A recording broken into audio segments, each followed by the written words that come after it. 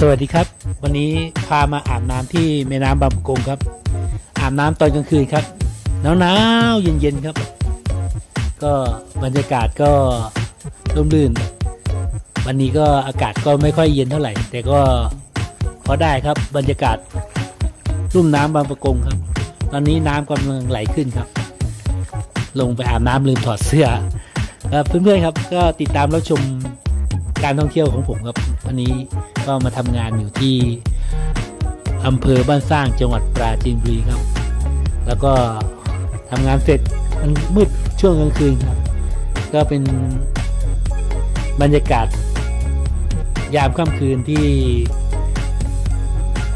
เริ่มจะหนาวนิดๆในเดือน 12 หรือ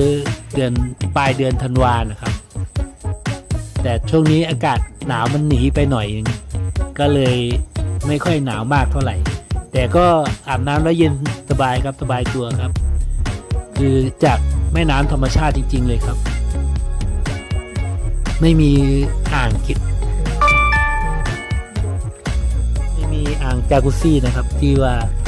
ไว้อาบน้ำคือลงอาบน้ำครับ มีปลามาตอดนิดๆนะครับเสียวๆเล็ก ๆ น้อยๆครับ ยามมืดๆ ด้านด้านหลังผมเห็นนะครับ มีผักตบชวาลอยมาตกกระจายหมดเลยนึกว่าจระเข้แน่ว่าจะหันไปจับกัด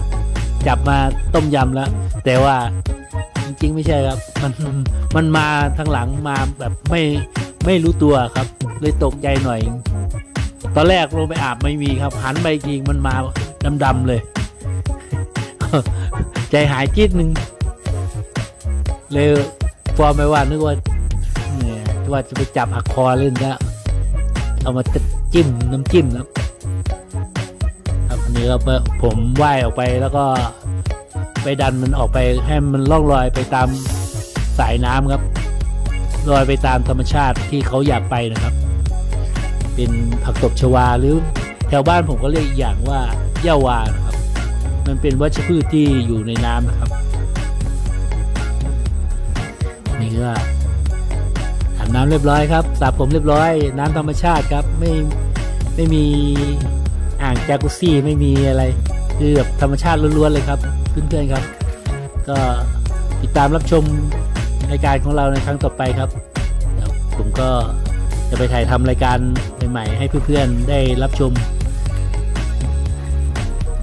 ก็อย่าลืมกดไลค์กด Subscribe ครับ เพื่อเป็นกำลังใจในการจัดทำรายการให้ช่องของผมด้วยนะครับ ก็สวัสดีนะครับ ขอให้ท่านสุขภาพแข็งแรงเดินทางโดยปลอดภัยนะครับ